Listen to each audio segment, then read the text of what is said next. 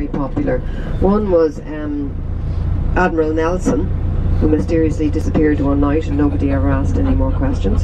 And then uh, there was another one put up uh, then um, when Ireland was uh, having its millennium, and it was to represent the River Liffey, and it was called the Anna Liffey.